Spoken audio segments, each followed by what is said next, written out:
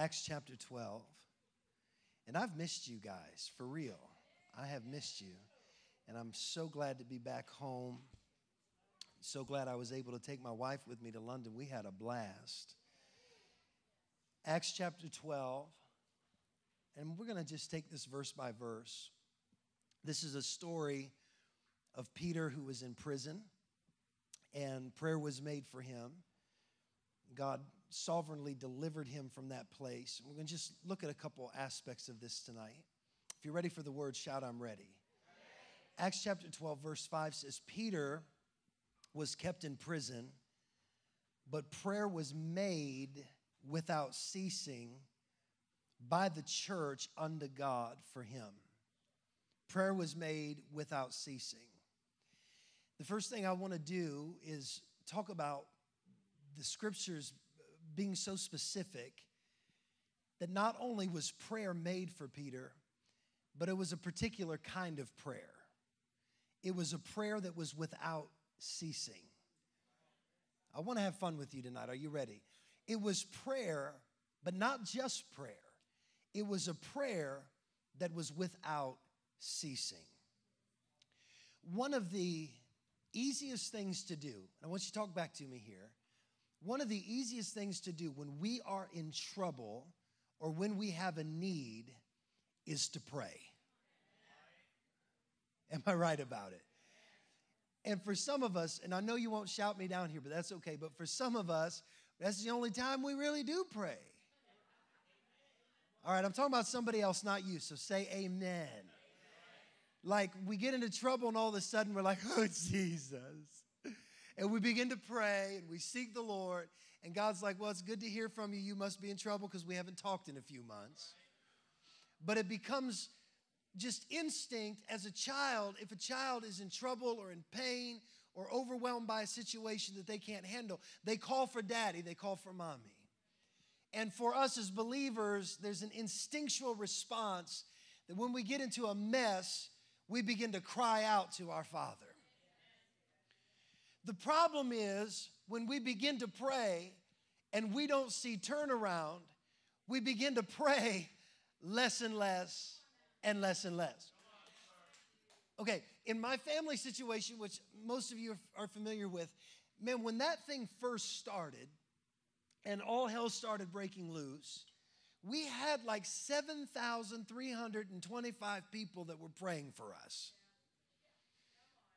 By the time 18 years got over with, there was like 6.5 people praying for us. Come on, somebody, help me out here. So people get really excited about the need and they rally around. But when there's no change, when there's no progress, then they start praying once a week, then it's once a month, then they do it biannually. then they have their centennial celebration after 100 years has passed, they'll pray again. And we do this not only for other people's situations, but we do it in our own life. Man, all hell breaking loose. We praying every day, oh God, move the mountain. And the mountain doesn't move, so we stop praying as frequently and we stop persevering. So it's important to understand that Peter was in prison, and the church said, not only we're going to pray, but we're going to pray with fervency, and we're not going to stop until something changes. Doesn't matter how many nights, doesn't matter how many days, we're going to pray until something breaks. We're going to pray until something moves. There is something powerful about fervent and consistent prayer. Hmm. Not just praying once and forgetting about it or praying twice, and if it doesn't happen, we give up. But to say, God, we're going to stay in a posture of prayer. We're going to continue to do warfare until something begins to turn around. In Luke chapter 11, we're not going to turn there, but we read of a story Jesus giving a parable of a man who's in the house with his family and his kids are sleeping. It's late at night and there's a knock on the door and it's a friend. He hollers down and says, What you want? I need some bread, three loaves to be specific. He said, Leave me alone. I'm sleeping and you're going to wake up my kids. And ain't nothing worse than waking up your kids in the middle of the night. You might be able to get back to sleep, but if you wake up them kids, it's on, baby. Come on. He said, Leave me alone. I, I'm, I'm sleeping. My kids are sleeping. Go wake everybody up. That friend kept knocking on the door, knock, knock, knock. He said, Go away. I told you once, go away. I'm not going to help you out, but I need bread. He said, Go away. The friend continues to knock. And the Bible says that this man finally got up and gave him bread. And it wasn't because he liked him. It's not because of his friendship. It's because he knew the man wouldn't stop bothering him until he got what he came for. And you know, something has shifted in the dynamic of our society, and we've talked about this. It's a, it's a quick fix society. Everything is on demand. If our internet doesn't pull up in 0.08 seconds, we log off.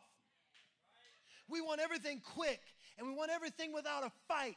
We want everything without any perseverance. And God's principles do not change because our society and our culture has changed. He's still looking for people that through persistence will begin to knock and seek and ask until things are answered, until things move, and until something changes. Where is our faith? that bold, courageous faith that says, I'm planting my feet on the ground and I'm seeking heaven and I'm not going to stop until I get what I came for. I don't care, God, if you like me or not. I'm going to bug you. I'm going to praise you. I'm going to pray until you rend the heavens open and pour out what I'm believing you for. I'm persistent. We've lost persistence. If things don't happen when we want them, how we want them, we quit and move on. If we can't get into a place when we want to, if we can't get our favorite seat at church, oh, yes, I'm preaching on that again. If service doesn't go in the right amount of time, if it's too long, my God, we need to learn how to wait and we need to learn how to persevere and lean our shoulders into something and say, I'm going to push through this thing until it moves and until I see something happen on my behalf. It's persistent prayer. I could work that out all night, but I'm, I'm not going to meddle. I'm moving along. Just look at your neighbor and say, Be persistent. Verse 6 says, When Herod would have brought him forth the same night Peter was sleeping. Now, watch the significance of this. No meaningless, meaningless details on the scripture. He was sleeping between two soldiers. How many? And he was bound with how many chains? And the keepers before the door kept the prison. So there's a minimum of three guards two that he was sleeping in between, and you had the keepers of the prison, so there had to be at least one. So there were multiple people watching over Peter. This is important that you understand this. One guard on each side of him, and there's a guard guarding the door, the gate of the prison, the entrance of the prison, probably more than one. Yet this angel comes in, and you'll read this encounter in a moment, slaps Peter on the side, tells him to get up, helps him get his clothes on. And there's no record in the scripture of any one of these people that were watching Peter being wise as to what was taking place. Now, if one of them would have seen something or awakened or said something, I'm sure the Bible would have given us some indication of this. I don't know if they were asleep. I don't know if the angel blinded them and put earplugs in their ears. I don't know what happened that kept them from recognizing that one of their inmates was escaping. But what I do want to tell you is God has a way of moving even though nobody knows He's moving. And sometimes it's frustrating when you tell your family members God's doing something because they can't see it. They're just sleeping. Don't worry about it. When you tell your friends or your foes that this is only a temporary situation, but I'm coming up and I'm coming out and then I'm going right back in to the promise of God. No, you ain't. You broke. You messed up. You sick. You got bills. You got problems. That's all right. You just sleep because right behind your back, whether you see it or not, God is up to something. We don't live by sight. We don't live by feeling. We live by faith that says, even though we may not see it and even though we may not know it, God is up to something good. And before the angel slapped Peter on the side and woke him up, Peter was asleep. Which means God can be up to something and working something out when you don't even know it. And some of you have been asleep for sorrow's sake. You've been asleep in your spirit. You've been heavy in your spirit. You've been heavy in your emotions. And I came to tell you that while you've been sleeping, God has been up to something good. He's been moving, He's been entering your situation, He's been preparing you for an exodus. You don't know nothing about it, but if you believe your pastor's telling you the truth, you ought to give Him 30 seconds of praise. Even though I'm sleeping, He is still moving.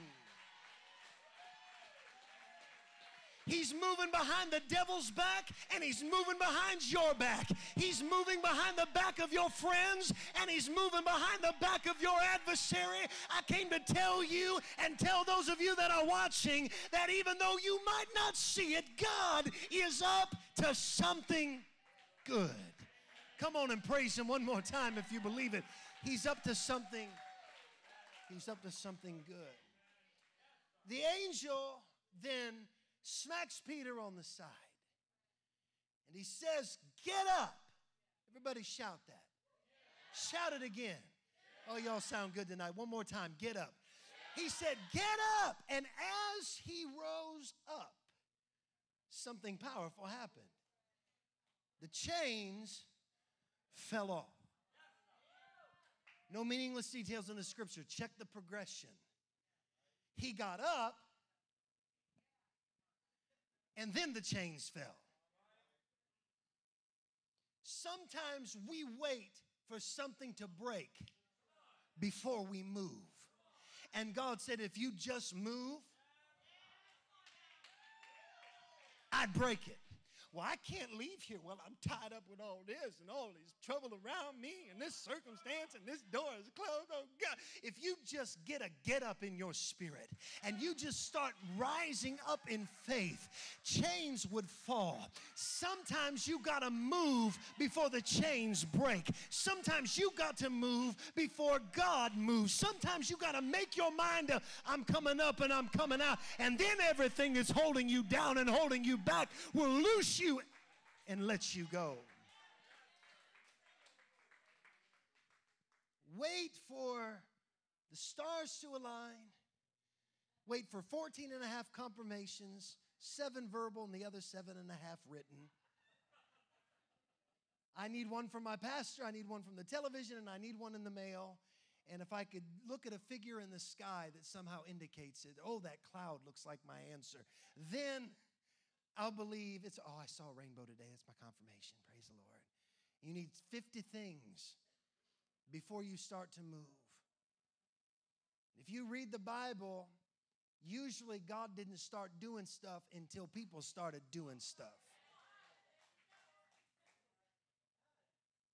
Noah would have waited on the rain to build the ark, we wouldn't be here.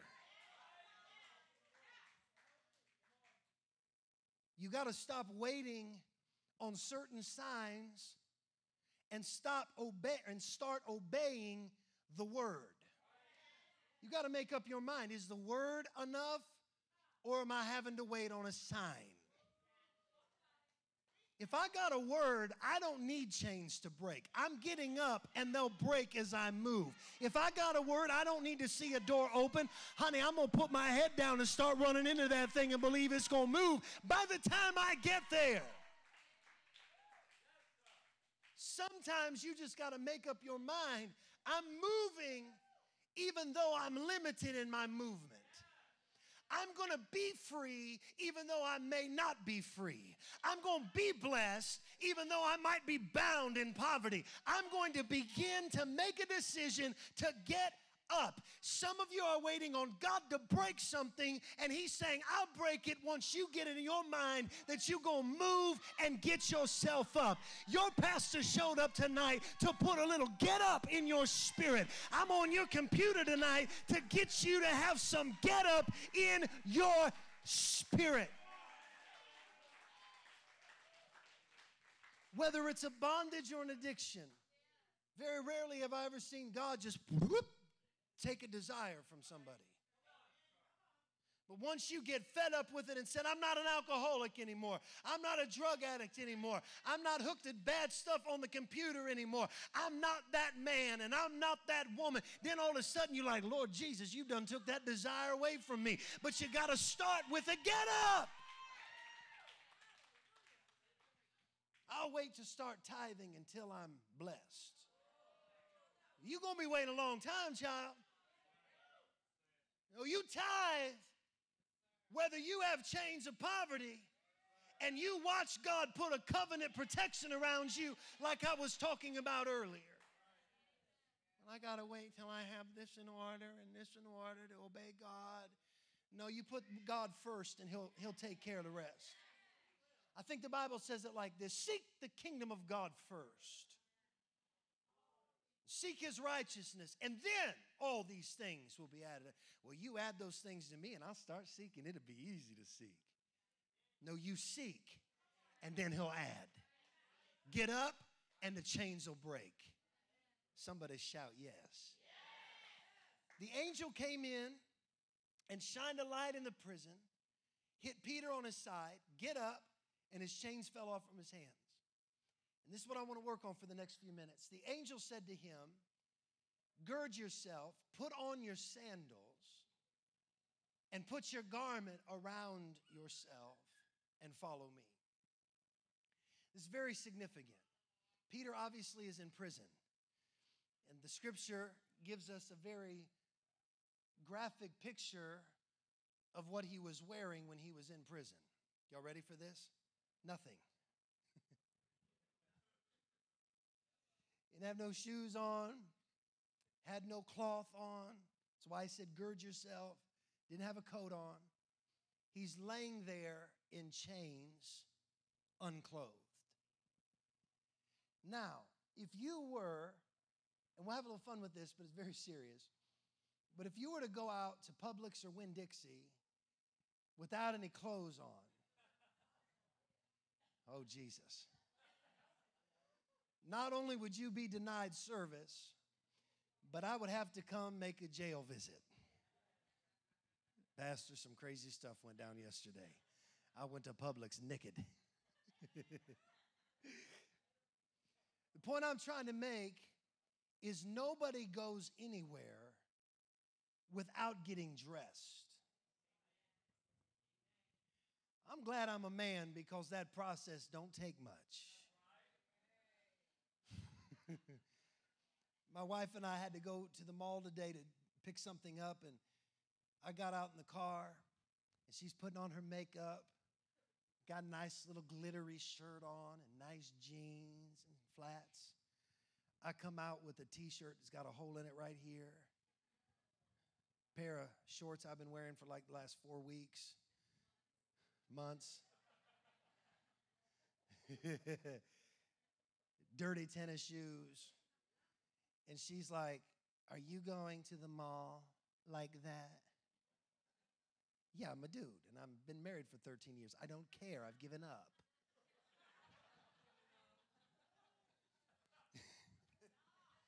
ah, this is it. Who, who am I supposed to impress at the mall? Yeah, well, my wife is impressed. I said, My wife is impressed. Oh, God, I said.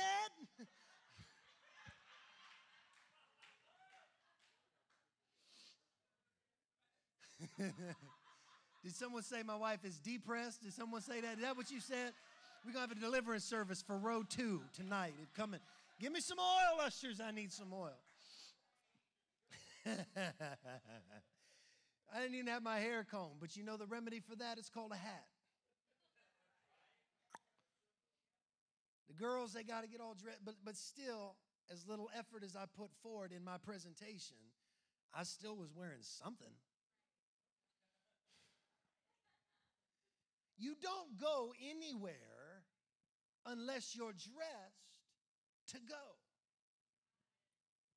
And what you put on often is a reflection, watch this, of where you're about to go. We had our daddy daughter date the other day here at the church, and it was awesome. And my little girls, I think we left the house at six, and at 4:15, they were in their gowns with their headdresses on and their makeup on. They were ready to go. They didn't get their dresses on when we got to the dance. They got dressed up, and even though it looked a little out of place sitting in the living room watching Dora the Explorer in a dress, they were not dressing for that living room. They were not dressing for where they were in their present. They were dressing for where they were about to go in their future. Some of us, if the angel said to us, Get your clothes on, be like, I don't need to get my clothes on. I'm incarcerated. I'm in prison. I don't need sandals. I don't need a garment. I'm not going outside. It's warm in here. It's cold out there. I don't need to get dressed. And in a sense, what the angel was telling Peter is, I want you to get dressed up like you're going somewhere. I want you to start looking not like where you are, but I want you to start looking like where you're about to go. I want you to start talking like you're there instead of here. I want you to start praising me like you're there instead of like you're here. I want you to get a thankful spirit like you're there, not like you're here. Pity is the garment for here, but the garment of praise is the garment for there. Start talking different, start acting different. Put some makeup on and some nice pants and act like you're getting ready to transition. Woo! It's a problem. We praise God according to where we are, not according to where we're going. We worship according to where we are, not where we're going. And we speak like where we are instead of where we are going. Moses and his frustration with that rebellious generation of Israelites in the wilderness always addressed them, not by base where they were, but he kept saying, There's a land that God is going to give us. It's a land that flows with milk and honey. It's a good place and it's our place, and God will prosper us there. He was trying to keep a vision ahead of them so they wouldn't become overwhelmed by the opposition of their wilderness, but rather look past where they were and say, We're going to get through this because there's a there, and we're going to serve God like we're there, even though we're here. But that rebellious, flesh filled generation couldn't ever make the transition. They were too busy looking like, acting like, and talking like they were in a wilderness when God was saying, If you just start thinking promise, I'll break you out of the wilderness and I'll take you into it. Now, we've talked about this before. The journey between Egypt and Canaan was an 11 day journey. You think they were a little bit overdue? I mean, we ain't talking about getting caught in I 4 traffic and being an hour behind. They were 40 years behind. And when the road's fault, and it sure enough wasn't God's fault, whose fault was it? It was theirs. Because God was trying to say, I'm getting the slave mentality out of you, and I'm getting the wilderness mentality out of you, and I'm going to require you to start acting, thinking, talking, and praising me like you're in Canaan before you get to Canaan. And once you start praising me like you're there, that's when I'll take you there. Once you get up, that's when the chains will break. Once you get dressed, that's when I'll take you in to what I've promised you. Something about our mentality, right? Something about the way we envision a thing. God has promised you so many great things, but you are in a battle of realities. Am I who I am today and where I am today? Is my present situation define me? Or will I choose to look beyond all of this and say, I may be here, but I'm going to act like somebody clap your hands and praise Him. The angel begins to lead him out. And this is in verse 10 if you're if you're following with me. They passed the first and second ward and came to the iron gate that led to the city. So, this would have been the outer gate of the prison, which opened to them of its own accord. And they went out and passed through the street. Now, the way I visualize this, and this ties into what we've been talking about, No man opened that door, it opened for them. But it began to open as they approached it. If we go to Publix or Winn Dixie or to a public building, an office building, most of those facilities have what's called an automatic door, motion sensitive. Now, if you sit in your car in the parking lot and go like this, nothing's going to happen. But if you approach the door, God, I feel this in my spirit. You don't know exactly what the range is, but one step, and all of a sudden, the door opens. I came to tell you, you just don't really know how close you are to getting into the motion sensitive zone. But you're waiting to move until you see the door open. Once it opens, I'm to run for it. Jesus, I'm to get it. Yes, I am. And that door isn't to open until you approach it and get to a certain distance from it. And when God sees that you're not basing your motion on the opening of that door and you're still going after it and you're still, it's a matter of time. If you keep plugging away and coming at it, the door is going to open and you're going to have access to what God has called you to have. For a donation of $20 or more, we would like to thank you by sending you Pastor Jonathan's two part series, Three Trials to Victory. Just visit our website now and click the Donate Now link. Thank you for your support.